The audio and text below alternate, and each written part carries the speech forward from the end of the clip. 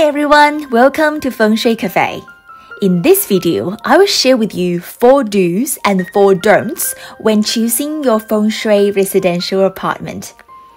If you are thinking about buying an apartment, here are the important Feng Shui tips you need to consider before your purchase. I would recommend you writing them down and checking them off the list one by one during your house inspection to make sure that your future home meets the criteria of what's considered good feng shui. Rule number one if there's a building locating right behind the apartment you plan to buy, that's good feng shui. The building is like a person, it also needs a strong support from behind.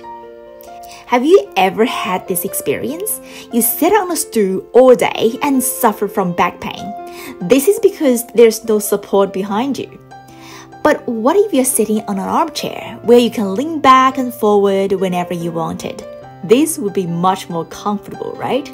This is exactly the same idea with your building.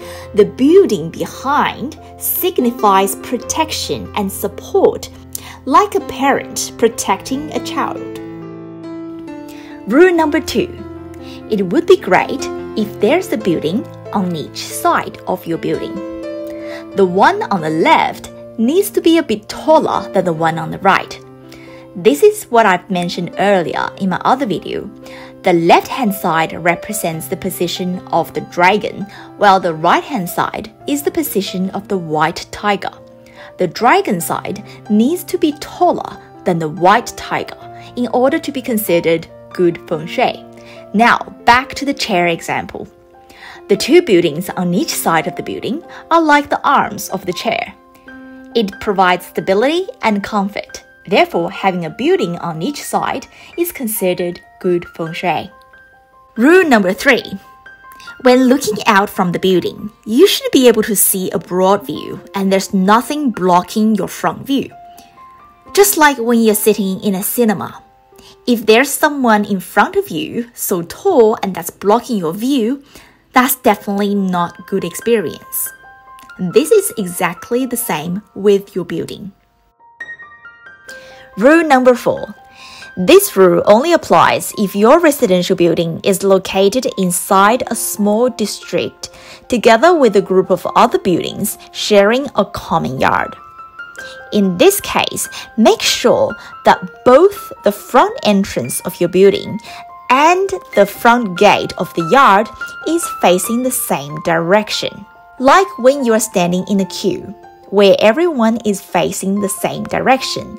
This allows the energy to flow smoothly. And this is definitely good feng shui. And now let's look at what we need to avoid. First, make sure that the buildings on your left hand side and right hand side are not too tall. If they are too tall, the energy from both sides becomes so intense and they create too much pressure on your building and that's definitely not good feng shui. Second, if your building is located at the intersection of a crossroad, the intense energy from the traffic would have a negative effect upon people living in the building. Third, if there's a road with curving bend pointing at the entrance of your building, this is considered very bad feng shui. This is because the curving bend is like a bow and arrow ready to shoot the building. And lastly, as I've mentioned in my other video, there should not be a road directly facing the front entrance of your building. This is because the energies are like sharp arrows rushing directly into your apartment.